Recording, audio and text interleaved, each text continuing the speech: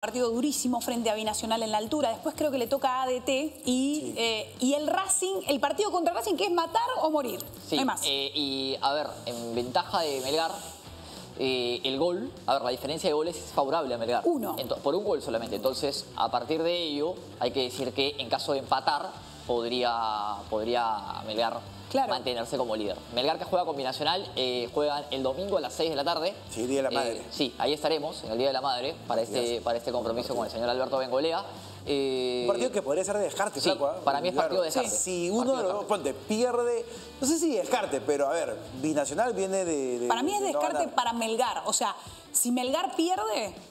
Pero ojo que está igual, o sea, han igualado. O sea, Sí, sí, Melgar está con Ah, perdón, 22, Melgar tiene es descarte. 20... Binacional viene de perder con Cristal. 21, ¿no? 22, 22. 22, Si 22. gana 22, Suyana, 22, que ya van a conocer el resultado de Suyana, porque Suyana juega antes. Ya Claro, está. Y el que la pierde, U. chau. El que Claro, pierde se o queda. sea, Si Suyana, por ejemplo, saca un buen resultado frente a la U, o sea, cualquier Canal exclusivo de Movistar TV.